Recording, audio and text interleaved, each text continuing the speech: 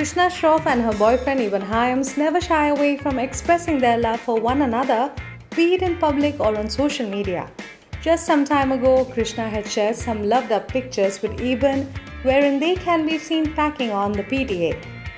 While fans flooded the post with cute messages, Krishna's brother Tiger Shroff, with whom she shares a great bond, took to the comments section to let his feelings be known. Probably pulling his sister's leg, Tiger left a puking face emoji which left even his friend Eban Hyams laughing out loud.